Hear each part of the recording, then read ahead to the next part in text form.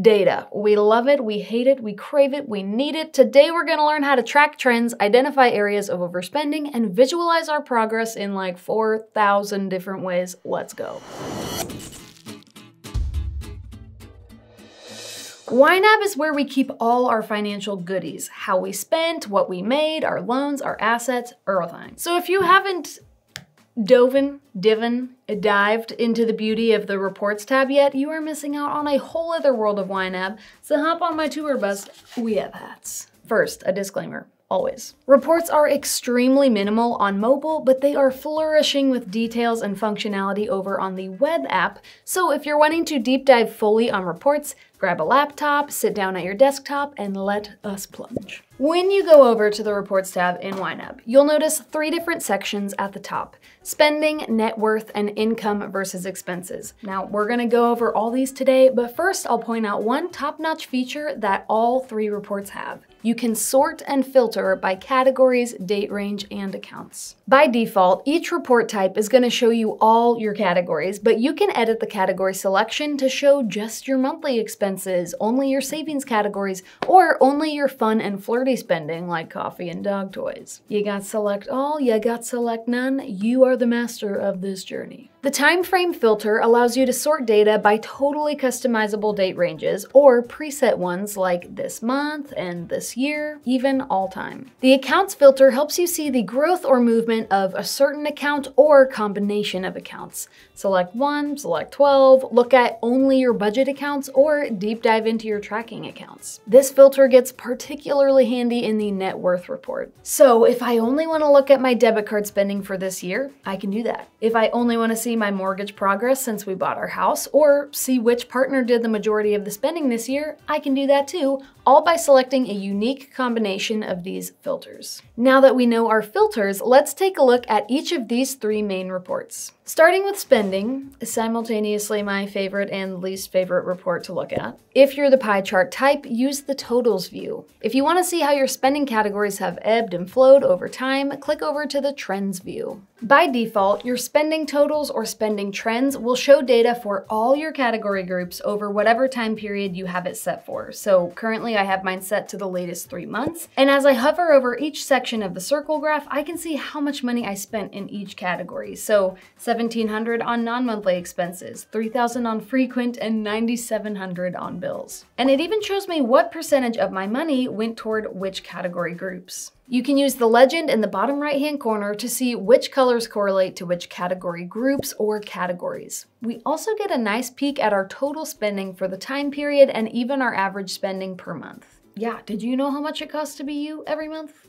Because I did not. Now, if we want to see what all our money went to within these category groups, click any of them via the circle chart or the legend to peek at your spending within that category group's categories. Now, all the information on the right-hand side of the screen changed to reflect spending totals and averages for that particular category group instead of the budget as a whole. Click any category and you'll get a pop-up of all the activity that happened within that category and the timeline you selected, which is also a great way to get a visual of your average spending in that category. And at any point, you can go a step back in your breadcrumb trail by clicking all categories in the upper left corner. Now, let's trade in our circle graph for a trending graph and see what happens. The trends view lays out your spending month by month, making it super easy to see trends within your spending. Hover over any section of the trends chart to see spending totals and percentages, and just like with our circle graph, we can click each segment to take us a little deeper into our budget and see our spending more clearly. Also, uh, there's a chance you're looking at your budget right now and you're like,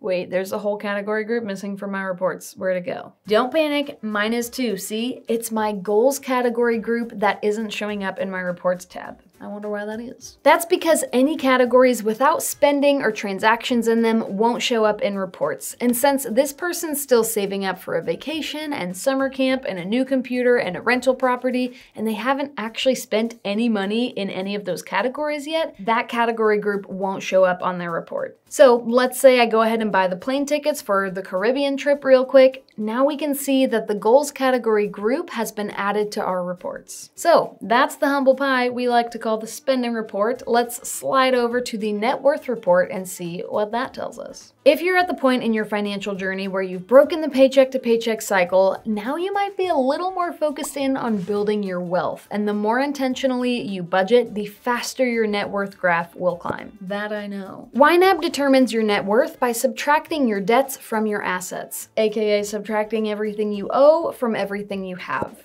And again, by default, the net worth report will consider all your accounts, your checking, savings, credit cards, HSA, mortgage, car loan, investments, retirement, literally anything you've added to YNAB. And it's pretty self-explanatory. Debts will be found in red, your credit card spending, your mortgage, your car loans, your student loans, while assets will be found in blue, your checking, savings, retirement, HSA, stuff like that. Over here on the right, we've turned your personal budget into Wall Street. See how many months your worth went up and any months you might have taken a step or two back. Uh, we get it, we've literally all been there. It's kind of fun to watch how the red and blue stack up against each other month over month. Well, maybe it's fun.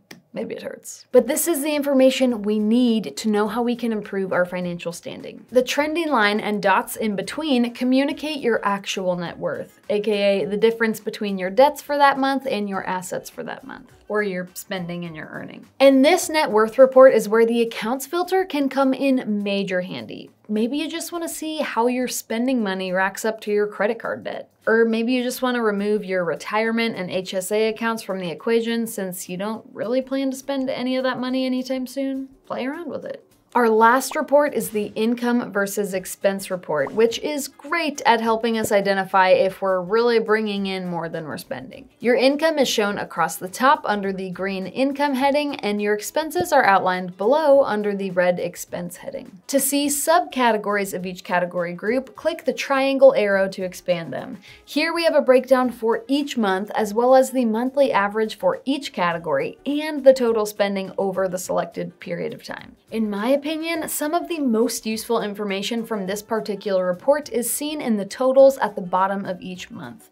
Totals in red are months we went over budget, and totals in green are months that we brought in more than we spent, Uh, which is good. And let me tell you, this report type gets wildly helpful if you use YNAB to run your small business budget because it comes in clutch during tax season. You can sort through all your different income sources, export whatever data you need. Oh yeah, and while we're talking about reports, you can export any set of data you want directly from the Reports tab. Just make sure you have the right categories, date range, and account selected that you're wanting a report on and click the export button in the upper right hand corner. Whatever you have selected at the time is what we'll export, so yeah. Now, that's everything you can accomplish on the web app. There are a lot less tools and functions on the mobile app, but let's look at what you can do from your phone. And PS, the mobile app and the iPad app align, so if you are an iPad user, this mobile section also applies to iPads. First, you can get a peek at your age of money. This metric is quite simple, but can be a helpful gauge of where you're at or how far you've come. To access it, tap the Reports tab at the bottom of the app, select Age of Money to open the report, and tap on the line graph. As you slide your finger across the line, you'll see your age of money calculation at any point in the past since starting this current budget. Now, what does our age of money even tell us? It tells us how many days go by on average between earning your money and spending it.